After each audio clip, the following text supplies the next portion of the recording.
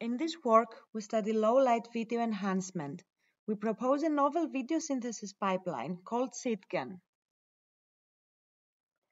An image signal processor pipeline is a software system that sequentially applies a number of low-level and global image processing operations to the raw data of a camera sensor. These operations may refer to denoising, demosaicing, white balance, or color transformations. In low light conditions, a traditional ISP pipeline produces suboptimal images that are usually very dark and noisy due to a low photon count and low signal to noise ratio. High ISO can be used to increase brightness, but it also amplifies noise. Increasing exposure time might be a way to address these problems and better capture the actual scene information. However, long exposure is impractical for dynamic video scenes as it can introduce blur due to camera shake or object motion. Recent models have shown promising results towards mitigating the problem by utilizing deep networks to model the ISP and map short exposure RAW from the camera sensor to a target long exposure RGB image. Recent work has also attempted to extend this approach to video data. However, recording long exposure video is hard due to motion. Existing datasets of supervised training pairs for this task resort to using a tripod to collect static raw videos for input and a single long exposure image for ground truth. This results in datasets that are limited in motion and diversity in scene type. We address the data collection bottleneck for learning the raw to RGB mapping by proposing a novel video synthesis pipeline that can generate abundant dynamic video training pairs. We map videos found in the wild to a short exposure domain characterized by a camera sensor. Since there is no paired relationship between the source and target distributions, we use an intermediate long exposure domain that provides an extra, supervised training signal with a target domain. We model our video synthesis pipeline as a set of two cycle GANs in a dual configuration. The first cycle GAN learns an unpaired mapping between domains A and B, transforming a set of RGB videos to a long exposure sensor-specific domain.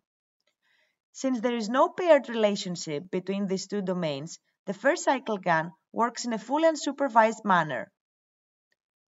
The second cycle GAN learns a paired mapping between the long and short exposure domains of a specific sensor.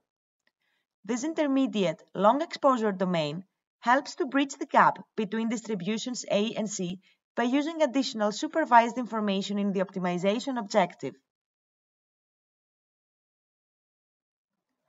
Every one of the two cycle GANs of our video synthesis pipeline uses two discriminators and two generators.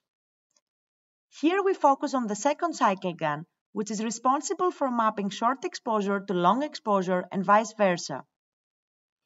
The first generator takes as input a real short exposure image and maps it into an image belonging in the long exposure domain. The second generator translates the fake long exposure back to the short exposure domain. The cycle loss between the input and the reconstructed image forces the model to correctly reconstruct its input. The discriminator DB attempts to distinguish the fake long exposure from a real long exposure image, defining an adversarial loss term. A similar cycle is performed in the opposite direction, resulting in one more cycle loss and one more adversarial loss. In this short and long exposure mapping, there are available paired data between the two domains. We exploit this paired relationship and we additionally employ an extra supervised training loss between the generated samples and the ground truth.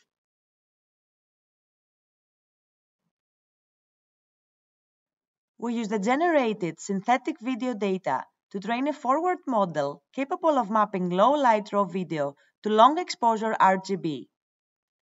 We adopt a previously published state-of-the-art motion model called SID Motion that is implemented as a Siamese network. The network accepts in the input two random raw video frames and predicts the corresponding long exposure outputs. A VGG feature loss is computed between the two outputs and the ground truth images. An additional loss term between the two predictions which encourages the outputs to be close to each other improves temporal stability. While it would be possible to use one of the train generators of our dual cycle GAN models for this task, this forward architecture is more suitable to exploit the temporal dimension of the synthetic video. Training using both synthetic and real data produces competitive results when evaluating performance under image quality and temporal stability metrics. We enable a state-of-the-art low-light motion model to better reproduce colors and reduce temporal flickering. Our experimental results on the SID motion dataset show that combining our dynamic synthetic data with real static data improves performance compared to scenarios when the same model is trained only using the real static videos. We find that adding a small portion of real data is critical for model performance, helping to close the synthetic data domain gap. In order to further investigate the effect of adding real data quantities in relation to synthetic data, we randomly sampled the original real dataset to subset ranging from 2 to 80%. First, we trained models using only the 129 static videos of the DRV dataset. Secondly, we trained models on a set of 9,000 synthetic videos and then fine-tuned the model on the real data subsets. We observed that the addition of our synthetic data significantly improves the performance, increasing PSNR from 17 to 22, from 21 to 23, and from 24 to 25 for the cases of 2%, 5%, and 10% respectively. As the fraction of real data is increased, the gap in performance between the considered models can be observed to reduce, highlighting that the addition of synthetic data is more valuable in scenarios when the collection of real training samples is expensive or highly impractical. Thank you for your attention. Please see your paper for further details.